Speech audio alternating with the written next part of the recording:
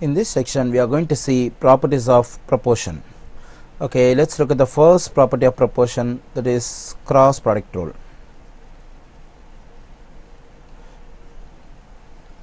So this is an important property of one of the important properties of uh, proportion because uh, we can use this property cross product rule and solve many problems in proportion.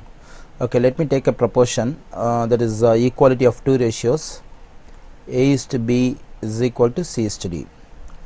Okay, so here the two ratios are equal, so this is proportion. Okay, in this proportion, the first term is A, the last term is D. The common name of the first term and the last term is extremes.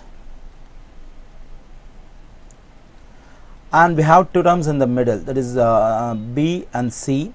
The common name of the two middle terms is means. So here A and D are called as extremes, uh, B and C are called as means. Okay, now let us see how this uh, property, the first property of proportion, cross product rule, works in an, in this in this proportion A is to B is equal to C is to D. So cross product rule says uh, product of extremes is equal to product of means that is if I multiply the extremes A and D that will be equal to uh, the multiplication of the means B and C. So in any proportion we can use this cross product rule. So A times D the product of extremes equal to product of means. Okay, let's uh, consider a small problem uh, to understand how this property cross product rule works.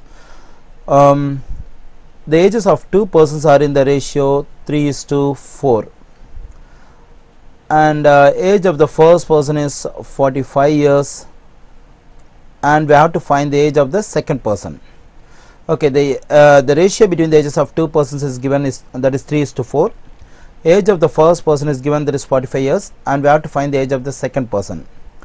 That is uh, I assume the age of the second person is x years okay so using the ages 45 years and x years now we can uh, do ratio. That is 45 is to x. So this is a ratio between the ages of two persons. But already the ratio between the ages of two persons is given that is 3 is to 4 so both the ratios 45 is to x and 3 is to 4 mean the same thing. That is uh, the ratio between the ages of two persons.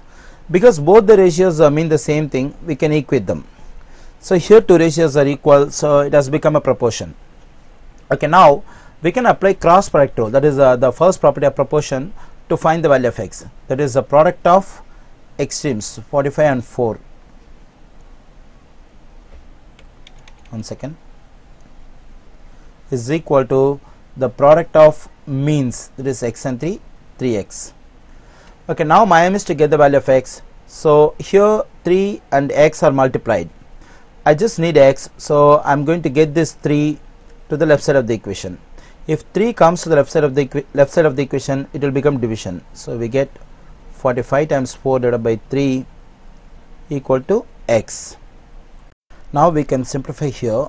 Uh, 1 times 3 is 3 3 goes into 45 15 times.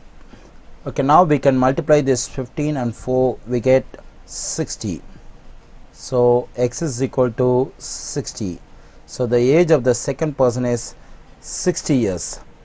So using cross product rule we can solve this kind of problems. That is uh, among the four quantities in proportion if we know the value of three quantities uh, we can solve for the fourth quantity using this property cross product rule